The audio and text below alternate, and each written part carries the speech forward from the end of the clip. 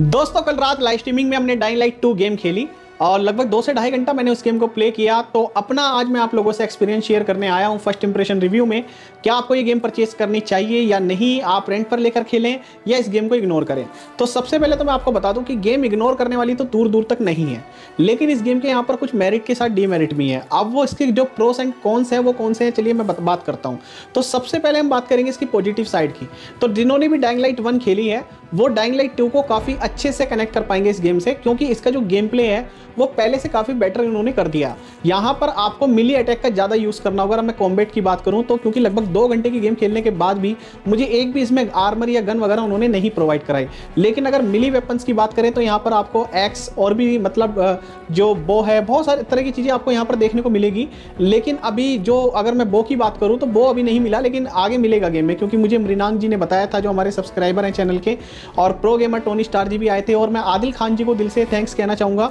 उन्होंने कल काफ़ी लाइव स्ट्रीमिंग में सपोर्ट किया था हमें। तो बहुत अच्छा लगता है कि आप लोग इतना प्यार देते हैं, इतना सपोर्ट करते हैं। तो इसमें मिली वेपन्स आपको बहुत एडवांस उस तरह की नहीं मिलेंगे कि आपको इसमें एसोल्ट राइफल शॉर्ट गन या आपको रॉकेट लॉन्चर वगैरह देखने को मिले। तो ये गेम को हार्ड इस तरह से बनाया गया है कि आप लोगों को मतलब खेलते हुए ऐसा लगे कि आप एक एक मिनट सर्वाइव कर रहे हो गेम में। दूसरी बात, यहाँ पर जो इन्वायरमेंट है, वो पूरी तरह से नाइट का रखा गया है। यानी कि एट्टी ये गेम पूरी नाइट में प्ले होती है और ट्वेंटी पार्ट ही आपको डे में मिलेगा।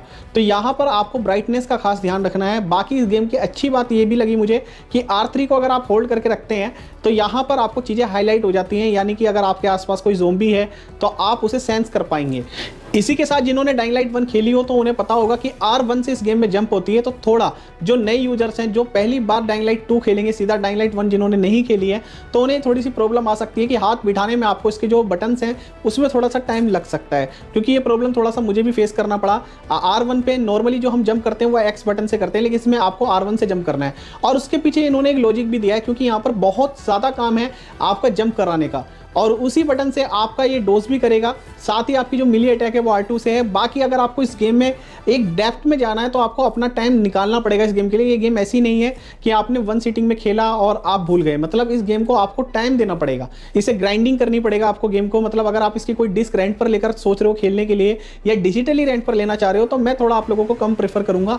अगर आप रेंट पर ले भी रहे हो तो इसे लॉन्ग टर्म के लिए लेना। यानी कि मिनिमम एक मंथ जो आपको चाहिए इस गेम को अच्छे से प्ले करने के लिए। मतलब प्लेटिनम वगैरह जितना टाइम लग जाता है अदर गेम्स में अचीव करने में, उतना टाइम आपको इसका स्टोरी मोड कंप्लीट करने में लगेगा। क्योंकि ये गेम है ही ऐसी और स्टार्टिंग में हो सकता है आपका इंटरेस्ट भी इतना क्रिएट ना हो। क्योंकि जैसे कि मैंने आपको बताया कि इसकी स्टोरी से गेम कनेक्ट करती है और बार बार आपको फ्लैश में ले जाती है। वो फ्लैश की क्या स्टोरी है, वो हम अपने फुल गेम वाले रिव्यू में बात करेंगे, लेकिन फ़िलहाल फ़र्स्ट इंप्रेशन में बस यही बता सकता हूँ कि अगर आपने डाइंग लाइट वन खेली है, तब तो आपको श्योरिटी इस गेम को खेलना ही चाहिए।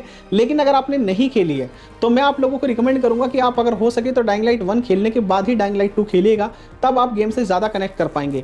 बाकी मैं इस गेम को खेल रहा हूँ नॉर्मल डिफिकल्टी पर और नॉर्मल डिफिकल्टी में भी मुझे ये गेम नॉर्मल ही लगी है, ऐसा नहीं लगा कि बहुत ज़्यादा हार्ड है। तो अभी धीरे धीरे मैं डिफिकल्टी को फेस करूँगा, तब मैं और अच्छे से बता पाऊँगा। तो अगर आज मुझे टाइम मिलता है तो मैं आज भी इस गेम को कंटिन्यू करूँगा, नहीं तो फिर मैं कल तो आपसे श्योरली लाइव स्ट्रीमिंग में मिलूँगा ही।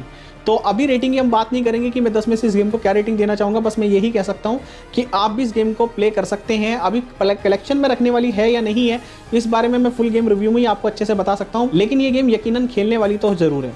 तो आप इस गेम को रेंट पर लेकर खेलेंगे या आप इस गेम को परचेस करेंगे और बाद में रीसेल करेंगे कमेंट करके ज़रूर बताइए कि आप किस प्लेटफॉर्म पर इस गेम को खेलेंगे। आपको मेरा रिव्यू अच्छा लगा हो तो इस वीडियो को लाइक करो शेयर करो और चैनल को सब्सक्राइब करना मत भूलना। और दोस्तों, जाते जाते आप लोगों को एक इन्फॉर्मेशन और दे देता हूँ कि नमोकार गेमर चैनल पर इसका एच गेम प्ले बहुत जल्द आने वाला है, जिसका लिंक मैं आपको नीचे डिस्क्रिप्शन में दे दूँगा। तो जब आप ये वीडियो देख रहे हैं तो एक बार चेकआउट ज़रूर